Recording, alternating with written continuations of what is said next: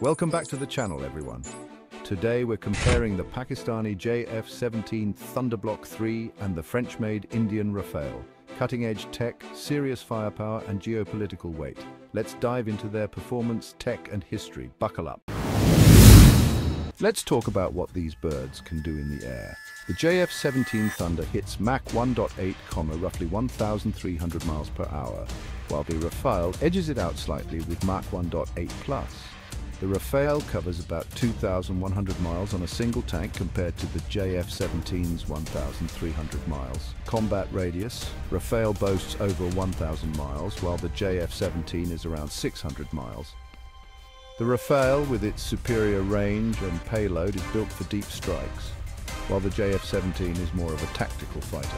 These numbers tell you a lot about the roles of each aircraft. When it comes to size, the Rafale is noticeably larger than the JF-17. It has a wingspan of about 35 feet compared to the JF-17's 31 feet. In terms of length, the Rafale stretches about 58 feet, while the JF-17 comes in around 49 feet. While the Rafale's larger size allows for greater fuel capacity and a more substantial weapons payload that dive into the brains of these aircraft, their avionics. The JF-17 Block 3 has a digital cockpit with a holographic head-up display and multifunction displays. It's equipped with a KLJ-7A radar for advanced air-to-air -air and air-to-ground detection. The Rafale has a digital glass cockpit with head-up and touchscreen displays. Its RBE-2 radar and spectra system are among the most advanced. The JF-17 Block 3 has a redesigned nose and air intakes for lower radar cross-section. The Rafale incorporates stealth considerations in its design. Composite materials and shaped air intakes reduce its radar cross-section.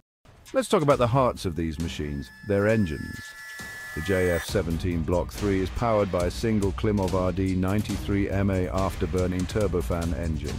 The Rafale uses two Snecma M882 turbofan engines, each producing up to 17,000 pounds of thrust. This twin-engine setup gives the Rafale a higher thrust-to-weight ratio, making it more powerful and agile. Now let's talk about the elephant in the room cost. The JF-17 Thunderblock 3 costs around $30 to $35 million, while the Rafale is $79 to $94 million per unit. This makes the JF-17 an attractive, cost-effective option. The Rafale's higher price reflects its advanced capabilities and combat-proven status. Cost is always a major factor in military procurement. Like, share and subscribe for more.